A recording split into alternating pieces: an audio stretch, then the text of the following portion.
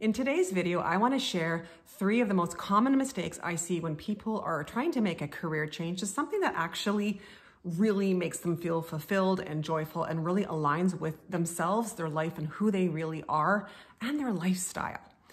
Thank you so much for joining me here today. My name is Andrea Horvath. I am a career life coach and I help women take control of their careers and their lives to find the ideal career suited to them and their lifestyle. So thank you so much for joining me here. So I want to talk about three of the most common. There's a lot of, you know, mistakes that I see. And first of all, I want to preface this by saying this, that, you know, there is no judgment here because I've made all of these mistakes myself. so that's why um, I can see, I can spot them so easily in other people when they're doing it because I did them all and I know they don't work. It took me a long time to figure out what career was ideally suited to me. So I'm going to dive right in. So mistake number one is making a career change without having a full understanding and a full and complete understanding about why your old careers didn't work. And then the flip side, of course, of that being what will work.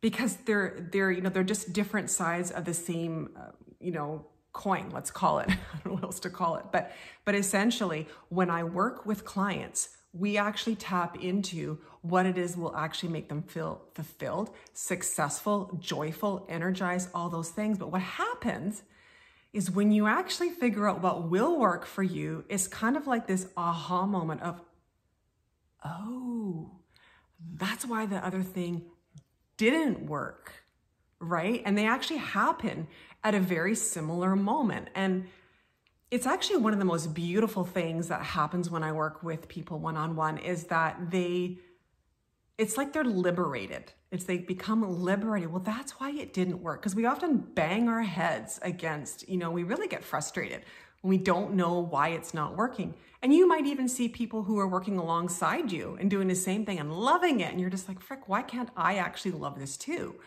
Right? Well, first of all, we're all different, of course, but it can be very frustrating. So it's this two pronged thing. Not only do you know what it is to feel fulfilled, but secondly, you also, it frees you. It's like, it's this feeling of liberation.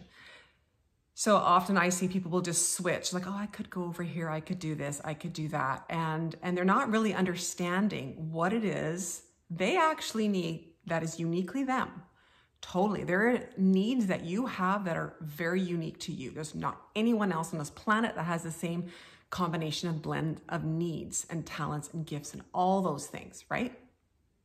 So people will often just switch to something. They are like, I thought it would be great and it's not. So it gets pretty frustrating, right? Like when you're making switches, you're putting all this effort in, really frustrating and really exhausting. So I really, really would encourage you not to start making steps and just kind of doing this, you know, hope and a prayer. I hope I've got it because you're going to end up exhausting yourself. And you know, you might actually have some temporary relief because there's this newness that comes. And I hear it from people all the time. So they have this temporary relief for maybe four, five, maybe six months. And then it's like, oh, shoot, I didn't figure it out. I'm back to where I started. I still feel the same as I used to because it's really the feeling that we're looking for, the change in how we feel each day, right? So number two is that they look around them and they see other careers that are making other people happy. They see it, they're like, oh, that person looks super happy doing what they're doing. Or somebody will suggest to them, like, oh my gosh, I know this person who has this great career, they love it. And they're like, oh my gosh, I want some of that. And then they move towards that career. But the problem is, you know, go back to what I said in number one, you have a very, very unique set of needs to feel fulfilled, to feel successful. You've got all these different gifts and talents. You cannot sort of plunk yourself into somebody else's career and have the same experience they will. It's like saying, oh, you know what, that person over there is happily married.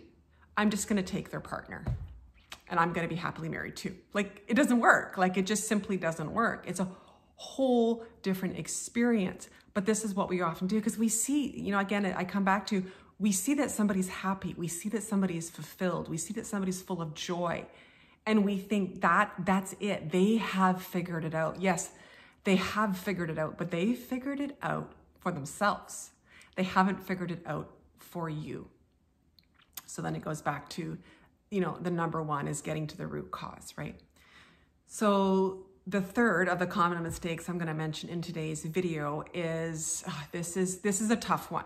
Well, they're kind of all tough, but once you see the first couple, it's a little bit easier because at least you can see it better. The third one is more of a habit, and especially with um, people who've been in the corporate world for a long time, uh, anybody who's had a lot of formal education, um, and this is definitely me. this is definitely me is we can often be really, really linear thinkers, right?